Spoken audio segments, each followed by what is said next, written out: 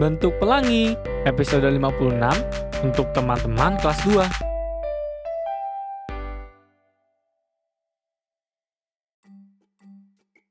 Ciluk Ba. Selamat pagi adik-adik.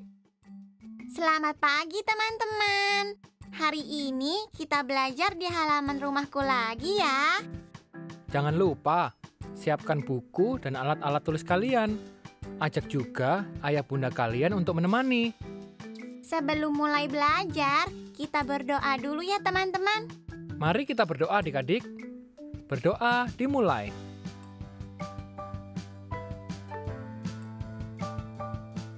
Berdoa selesai. Hari ini kita akan belajar apa ayah? Hari ini kita akan belajar tentang bentuk pelangi. Kamu masih ingat tidak? Seperti apa bentuk pelangi itu? Aku ingat ayah. Kalian bagaimana? Masih ingat juga kan teman-teman? Coba kalian jelaskan. Pelangi berbentuk lingkaran penuh. Tapi karena terbatas oleh garis horizon, mata kita hanya bisa melihat setengah lingkaran dari pelangi. Betul sekali.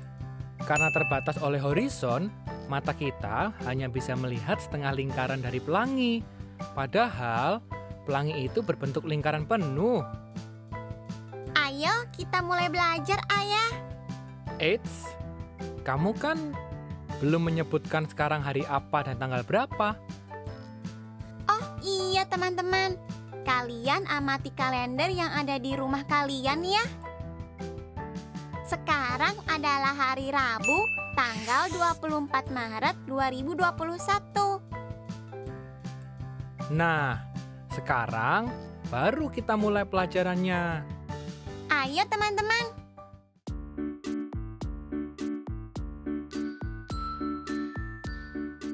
Gara-gara Piko. Melukis, melukis, melukis. Piko sedang melukis kereta karnaval untuk ulang tahun desa ke-100. Karena terlalu bersemangat, Piko tidak sengaja menumpahkan cat. Eh, tunggu dulu. Piko pikir ini tidak buruk. Piko punya ide. Dia mulai mencampur warna dengan cepat. Piko lalu mewarnai seluruh rumahnya. Piko mencari benda lain untuk diwarnai. Piko mengecat rumah Bu Gajah dengan warna merah. Piko mengecat genteng Pak Kucing dengan warna kuning. Piko mengecat beranda Bu Panda dengan warna merah muda. Piko mengecat atap rumah Pak Harimau dengan warna hijau. Piko mengecat genta Pak Unta dengan warna magenta. Piko mengecat pintu bukang guru dengan warna ungu. Piko sangat senang mewarnai berbagai benda di desanya. Gara-gara Piko, warga desa jadi kesal. Sesampainya di atas bukit, semua warga desa yang kesal terdiam. Mereka melihat sesuatu yang mengejutkan. Hadiah ulang tahun yang sangat indah untuk desa dan warga desa. Gara-gara Piko, warga desa menjadi senang. Seluruh desa jadi berwarna-warni, begitu pula wajah mereka. Gara-gara Piko, desa mereka dikenal sebagai desa pelangi.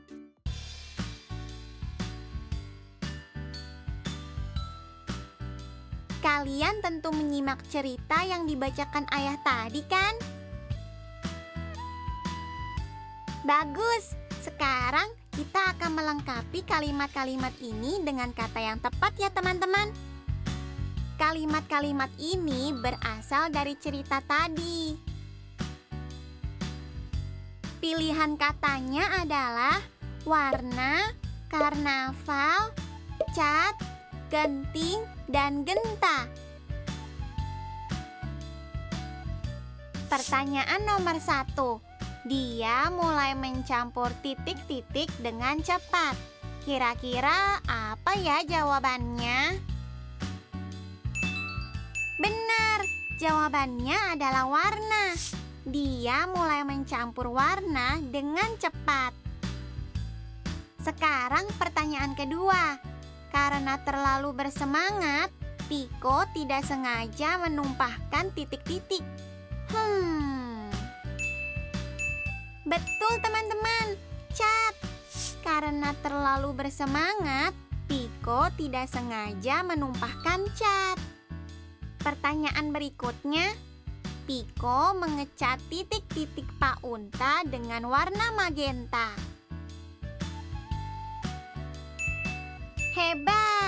Jawabannya adalah genta. Piko mengecat genta Pak Unta dengan warna magenta. Nomor 4. Piko mengecat titik-titik Pak Kucing dengan warna kuning. Bagaimana teman-teman? Genteng. Iya, benar. Piko mengecat genteng Pak Kucing dengan warna kuning. Sekarang pertanyaan terakhir. Piko sedang melukis kereta titik-titik untuk ulang tahun desa ke-100. Benar sekali, karnaval. Piko sedang melukis kereta karnaval untuk ulang tahun desa ke-100. Kalian hebat teman-teman. Semua kalimatnya sudah lengkap sekarang.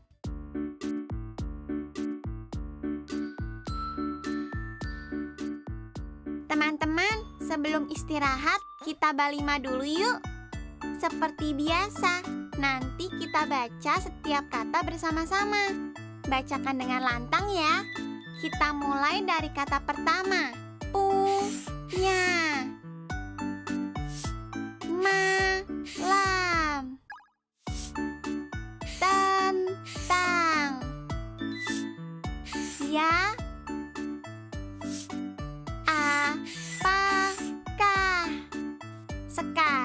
Semua kartu di atas meja akan ditutup.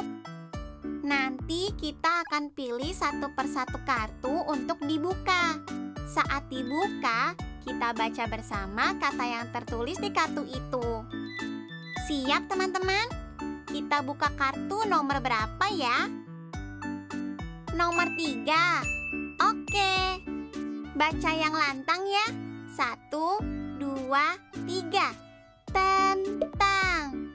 Selanjutnya nomor berapa? Nomor lima. Oke. Satu, dua, tiga. Apakah? Tiga kartu lagi teman-teman. Apa? Nomor dua. Kita baca ya. Malam. Hebat teman-teman. Selanjutnya nomor berapa?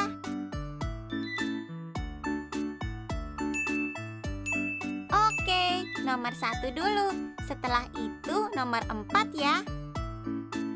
Satu, dua, tiga. Punya. Kartu terakhir. Satu, dua, tiga. Ya kita sudah selesai membaca lima kata dengan benar. Kalian hebat! Sekarang, saatnya istirahat dulu ya adik-adik.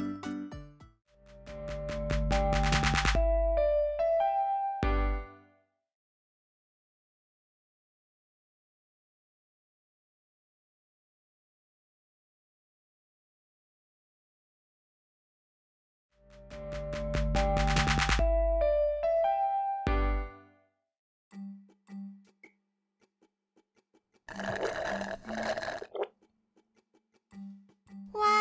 segar sekali jus jambu buatan ibu. Iya, selain segar, jus buah-buahan juga bagus untuk kesehatan loh. Aku jadi semangat belajar lagi deh, Ayah. Sudah cukup istirahatnya ya, teman-teman. Ayah Bunda, mohon ditemani ya.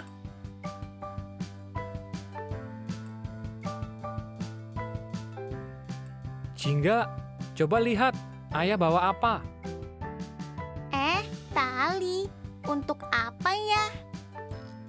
Jadi, tali milik ayah ini memiliki panjang 120 cm. Ayah mau menggunakan tali ini untuk mengikat sebuah kotak paket. Ayah membutuhkan 51 cm tali. Apakah benar kalau ayah sudah menggunakan lebih dari setengah panjang tali? Hmm, benar atau salah ya teman-teman? Apa? Salah? Hmm, coba aku pikirkan dulu. Oh iya, kalian benar teman-teman. Panjang tali yang ayah miliki adalah 120 cm. Ayah telah memakai 51 cm tali untuk mengikat paket. Setengah dari panjang tali yang ayah miliki adalah 60 cm. Dari mana kamu tahu bahwa setengah tali dari ayah panjangnya adalah 60 cm? Karena 120 cm dibagi dua hasilnya 60 cm ayah. Pintar, Jingga. Lanjutkan penjelasanmu. Karena ayah hanya memakai 51 cm, berarti ayah baru memakai kurang dari setengah panjang tali. 51 lebih kecil dari 60. Hebat. Benar sekali. Teman-teman juga membantu aku, Ayah. Mereka juga hebat. Ayah setuju. Hebat kalian adik-adik. Ayah, aku masih mau belajar yang lain. Teman-teman juga masih bersemangat kan? Ya sudah, kalau begitu. Dengarkan dan simak baik-baik penjelasan ayah ya.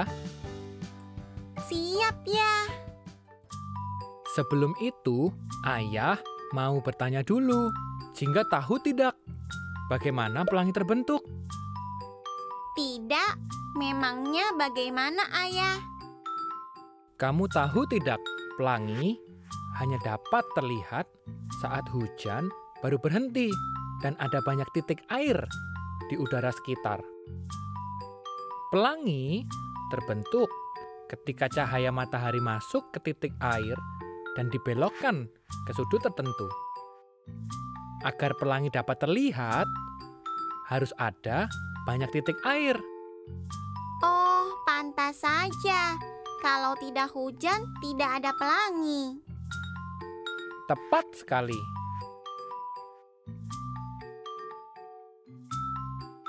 Coba perhatikan ini ya, Jingga. Baik, Ayah. Kalian juga perhatikan ya, teman-teman. Sudut bisa terbentuk ketika cahaya dibelokkan. Seperti ilustrasi ini, Jingga. Wah, iya. Ada sudut yang terbentuk ya. Kalian juga lihat kan, teman-teman? Sudut juga bisa terbentuk ketika kamu melempar bola ke dinding. Oh iya, pantulan bolanya membentuk sudut ya ya. Nah, satu lagi adalah ketika kamu membuka pintu kamar. Adik-adik juga bisa lihat sudutnya kan? Sudut bisa diukur dengan besarnya putaran. Ini adalah sudut setengah putaran. Kalian juga bisa mencoba menggunakan kedua lengan kalian untuk membentuk sudut setengah putaran. Contohnya seperti ini. Hayo, Jingga. Kamu bisa ikuti tidak? Bisa dong. Teman-teman di rumah ikuti gerakanku yuk. Pertama, gabungkan lengan kita seperti ini. Sudah teman-teman? Bagus. Kalau sudah, gerakan lengan kita melingkar ke atas sampai setengah putaran. Yeay, kita sudah berhasil membuat sudut setengah putaran. Hebat Jingga dan teman-teman. Tapi penjelasan ayah belum selesai. Kita juga bisa membagi sudut menjadi dua kelompok. Coba lihat contoh-contoh ini. Ada sudut kurang dari setengah putaran. Ada yang bentuknya seperti ini, dan ada juga yang seperti ini. Ada juga sudut lebih dari setengah putaran. Ada yang bentuknya seperti ini, dan ada juga yang seperti ini. Tapi dalam kegiatan sehari-hari, kita juga membentuk sudut dengan badan kita loh. Misalnya, saat kita melambaikan tangan. Kita juga membentuk sudut saat kita membuka keran air. Nah, betul sekali Jingga. Bagaimana? Kamu sudah lebih mengerti tentang sudut? Sudah, Ayah. Adik-adik, kalau ada yang belum kalian pahami, kalian bisa tanyakan ke ayah bunda ya. Ayah, karena aku sudah paham, berarti sekarang saatnya latihan kan? Betul. Asik, aku sudah tidak sabar.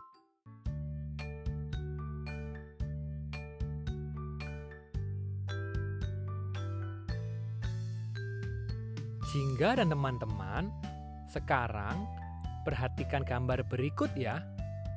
Ayo, perhatikan teman-teman. Nila sedang coba membentuk sudut dengan jarinya. Ia membuat dua sudut seperti berikut ini. Pertanyaannya, kedua sudut yang dibentuk Nila kurang dari setengah putaran atau lebih dari setengah putaran? Aku tahu jawabannya teman-teman. Bagaimana dengan kalian? Apa? Wah, jawaban kita sama teman-teman. Kedua sudut yang dibentuk Nila adalah kurang dari setengah putaran. Iya, benar sekali. Sekarang, coba Jingga membentuk sudut dengan lengan. Wah, apakah aku bisa? Teman-teman, bantu aku ya. Nah, pertama, coba kamu bentuk sudut yang kurang dari setengah putaran. Hmm, apakah seperti ini, teman-teman? Bukan. Kalau begitu, seperti ini ya. Yang seperti ini sudutnya kurang dari setengah putaran. Betul tidak, Ayah? Betul. Kalau begitu, kamu sudah tahu kan sudut yang lebih dari setengah putaran itu seperti apa? Pasti seperti saat aku menyalakan keran wastafel kan, Ayah? Pintar, Jingga. Teman-teman, terima kasih ya sudah mau membantu Jingga membentuk sudut dengan lengan.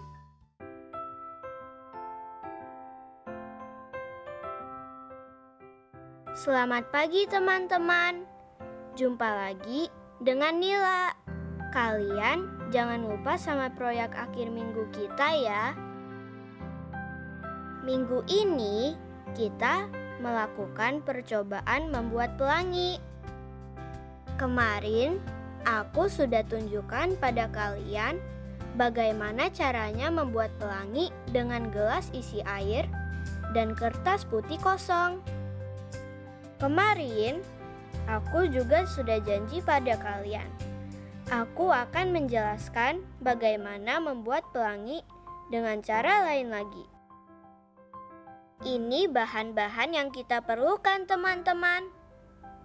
Pertama, wadah plastik lebar berisi air. Kedua, sebuah cermin. Caranya bagaimana? Sabar, teman-teman. Besok akan aku tunjukkan. Sekarang, kalian siapkan dulu saja ya bahan-bahannya. Makanya, saksikan terus acara ini. Sampai besok, teman-teman.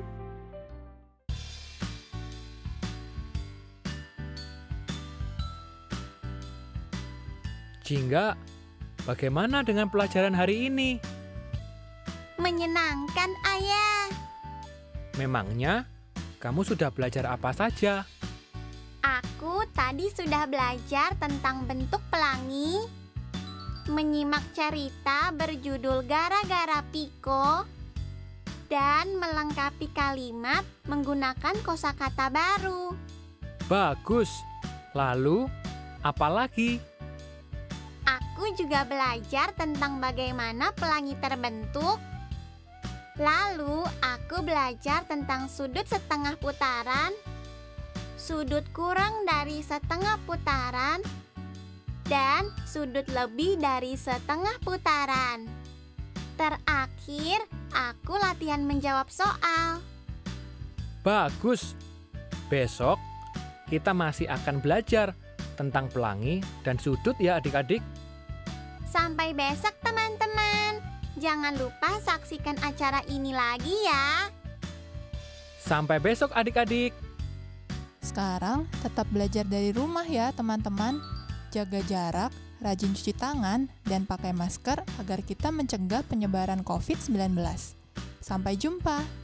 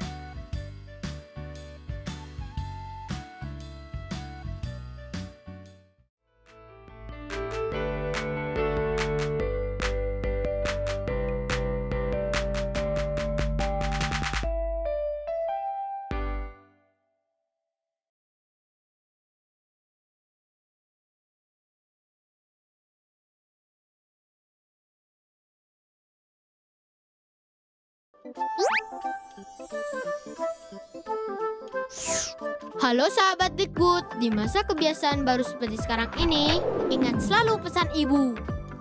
Keluar rumah kalau penting saja ya nak, ingat untuk selalu 3M.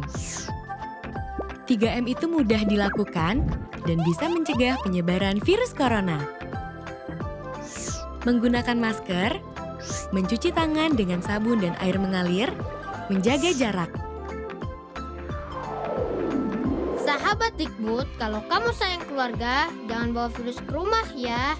Ingat pesan ibu, ingat 3M.